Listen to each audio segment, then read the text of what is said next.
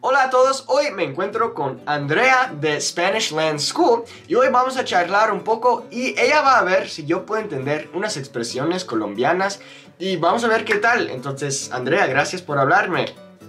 No, con muchísimo gusto. Para mí es un placer estar aquí en el canal hoy y vamos a ver si los que nos escuchan pueden suponer las frases. Sí. Bueno, vamos a ver entonces cómo te va con la expresión número uno. Es qué bacano. Qué bacano. Eso es muy fácil, ya la sé. ¿Sí? Sí. ¿Sí? Es como qué cool, qué chido, qué padre, como qué bueno. Ah, sí, sí, sí, sí, sí. Entonces, eh, sí, cuando ves algo que te gusta y how cool es eso, qué bacano. Pero tenemos otra expresión para eso también. Uh, ¿Alguna idea?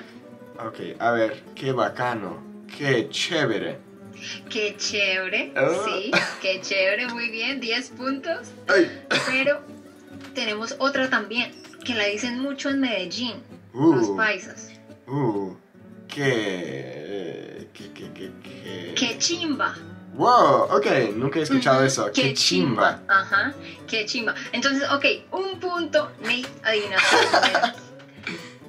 Estas, como dije, son expresiones que ustedes escuchan en Colombia y principalmente en los jóvenes, como personas de nuestra edad. Número dos, estoy desparchada.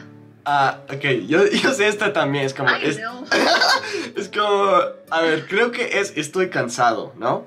Mm, mm. Oh, o como, ay, es que yo he aprendido esta, pero a ver, estoy Es como yo, ay, no, estoy desparchada, qué pereza. Como, ah, como estoy, no es cansado, entonces es como... Te doy otra pista más. Ok. Yo llamo a mi amigo, ah, yo te llamo. Oye, Nate, ¿qué vas a hacer esta tarde? Estoy desparchada. Ah, que estás libre.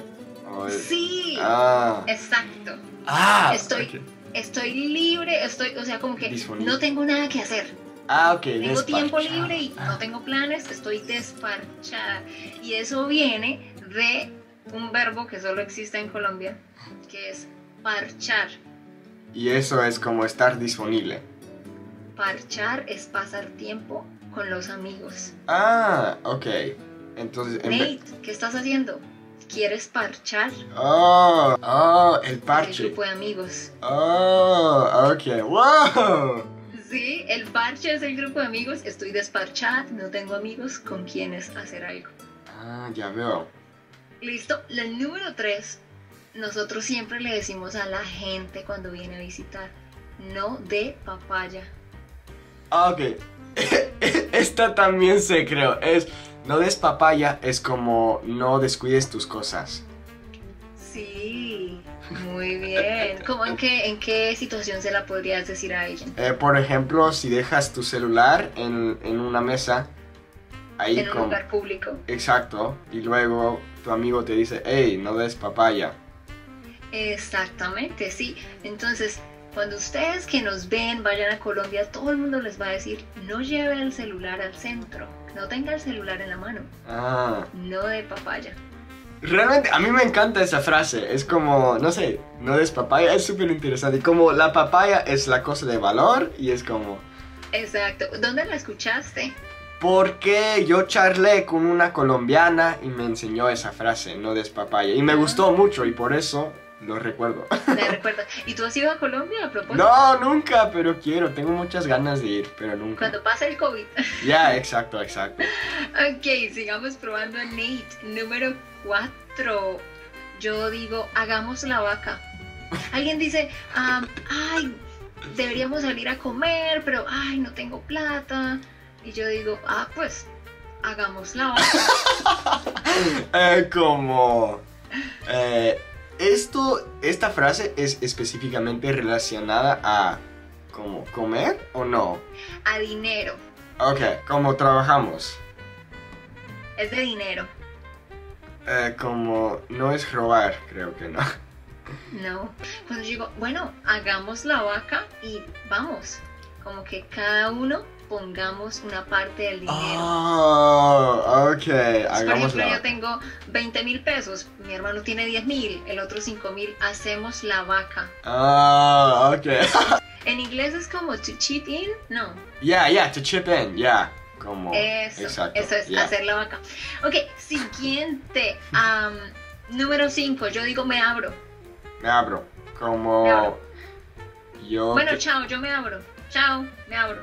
Ah, co- me- Like I, Me- I open myself. yeah, yeah, ah, ¿Me voy? Me voy. Sí, Ah, sí, sí, sí. Muy claro. bien, muy bien. Este muchacho sabe más de lo que. Y lo- los jóvenes le dicen al otro, ábrase. Es como, Como vete. Ah. Vete. Ah. La siguiente, número 6, si te digo, coja oficio. Coja oficio. Coja, de coger, Ajá. like to take something. Coja oficio. No, no seas perezoso. Más o menos. Sí, sí, sí. No seas perezoso, coja oficio. Por ejemplo, mi hermano está jugando videojuegos por cuatro horas y yo le digo, David, coja oficio. Ah, Lleva cuatro horas jugando videojuegos. Ya veo. Como que ve a hacer algo productivo. Como Exacto, pero también cuando, por ejemplo, si mi hermano me hace una broma, me dice, Andrea, em, se murió el perro, nuestro perro. Ajá. Yo le digo, ¿qué? Y él me dice, no, mentiras. Y yo le digo, coja oficio. Ah, Como que ve a hacer algo productivo y no me hagas broma. ah, ok. Eso, qué cool, qué bacano, qué chévere. Qué cool, qué bacano, qué chévere, qué chimba. Qué chimba. Bueno, pero antes de continuar, para todos los que nos ven, ah, Nate, ¿tú dónde aprendiste español y cómo lo aprendiste? Pues aprendí en el bachillerato, la, la preparatoria, la escuela secundaria. Eh, eh, y sí, pues aprendí ahí por unos cuatro años. Pero todo el mundo siempre me dice, pero ¿cómo aprendiste tan bien español en la, sec- la secundaria? Y pues creo que es porque tengo muchos amigos que son hispanohablantes, específicamente eh, son de México. Y por eso muchos me dicen, ah, tienes un acento más mexicano. Más Pero sí. mexicano. Sí, sí, pero aprendí en la prepa eh, y luego charlando con amigos así aprendí también. O sea, como tu secreto ha sido hablar y hablar con muchas personas siempre. Sí, claro. Y yo siempre digo que hay que amar el idioma. Eso es súper importante. Amarlo. Sí, los que nos ven, amen el idioma y busquen con quién hablar. Ok, otra palabra, bueno, otra frase. Qué embarrada. Qué embarrada. Eh, como Pero una que... palabra embarrada, ¿qué crees que es? Es que no lo sé. Como qué lío. Qué horror. Sí, es como qué lío. Ah, ok. ¿Cómo Como se que, dice? Qué mal. Como que qué triste. Ah. Por ejemplo, mi hermano presentó un examen muy importante y, y no pasó.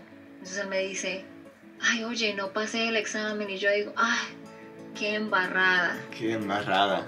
Ok, la otra frase que tengo para ti o expresión es, qué boleta. Yo creo que aprendí esta, pero no sé qué significa. Tal vez Qué boleta.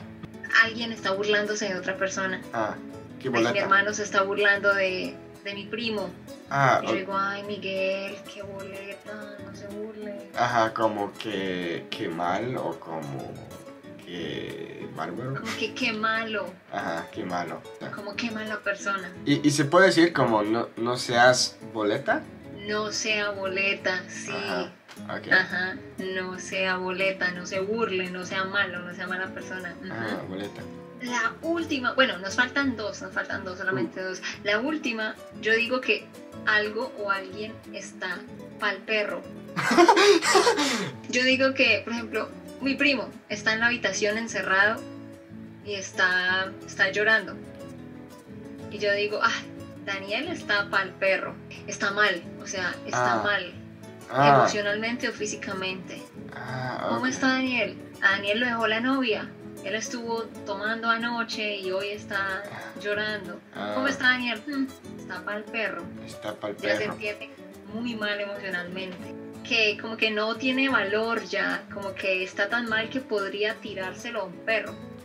Para que el perro juegue con ella o Ah. Bueno, pero síguenos contando un poquito más de ti. Am, ¿Cuáles son las cosas que tú has hecho aparte de hablar para mejorar tu español? Bueno, yo diría que yo tuve que aprender los conceptos básicos y todo eso en mis clases de español. Y así es donde aprendí como los conceptos, básicamente, la gramática, la estructura de oraciones y todo eso.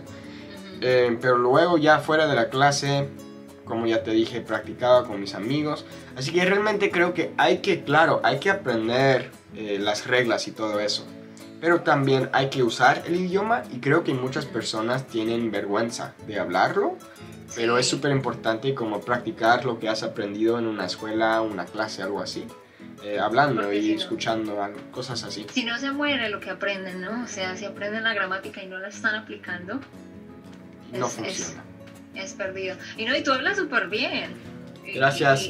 Y, y- y 10 puntos. Gracias. y me entiendes todo lo que digo, o sea, está súper bien. ¿Cuántos años llevas aprendiendo español? Siete. Ya siete ya. Ujú. Ok. Bueno, Nate, la última, y para todos ustedes que nos ven, ¿qué crees? Esta es un poco larga. Y esta la decimos en mi estado, que se llama Santander. Ujú. Los jóvenes casi no lo dicen, pero es más como los adultos. Ok. Eh, ay, tengo un filo. Oh. Tengo un filo. Ah, que tienes hambre. Sí, Ah. tengo mucha hambre. Ah, tengo filo. Tengo un filo. Ah, un filo, un, un filo. Bueno, pues, wow, muchísimas frases nuevas. Sí, claro. Dime dos que recuerdes.